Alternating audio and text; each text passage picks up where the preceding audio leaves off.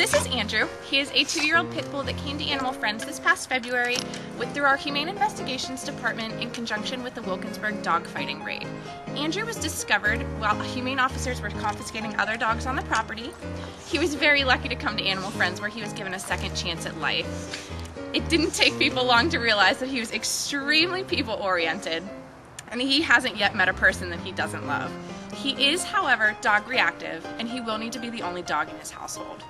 He has a very active level of play and loves his toys. He has been to many off-site events and has done very well. However, he does have a history of getting car sick. Soon after Andrew's arrival, we realized that he wasn't really feeling well. After many tests, we discovered that he has a condition called autoimmune hemolytic anemia. This is a disease that causes the body to attack itself and destroy its own red blood cells. Although Andrew's doing very well right now, he will require regular, ongoing veterinary care and medications for the rest of his life. Currently, Andrew takes daily prednisone and immunosupportive supplements.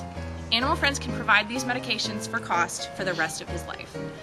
Andrew's disease does not slow him down, not a single bit, and he doesn't know there is anything wrong with him. He is such an upbeat dog and has one of the greatest personalities that we have ever seen in this shelter. Someone believes in Andrew's adoption so much that they have sponsored his requested donation, so he truly is priceless. He is definitely one of the staff and volunteer favorites, but as much as we love him here, we would really like to see him find a home of his own. He's one of a kind dog looking for a special home. Could it be yours?